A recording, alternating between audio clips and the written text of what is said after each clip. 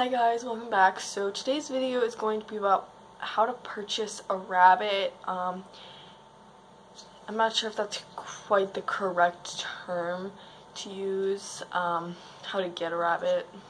I don't know. Um, but yeah, so the best option is an animal shelter or some places have rabbit rescues. Not everywhere. Um, like where I am, we don't have rabbit rescues. Um, Etsy, a lot of people get rabbits through Etsy. Um, I actually did.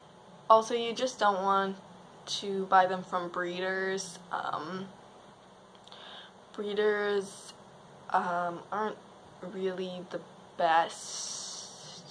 And I think most breeders do have um, rabbits' interests at heart, but um, it, some of them are just bad. A lot of the times the rabbits are kept in small cages and it's just not nice. Um, so yeah.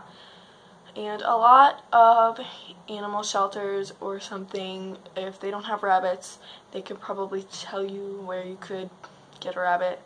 Um, please don't get a rabbit from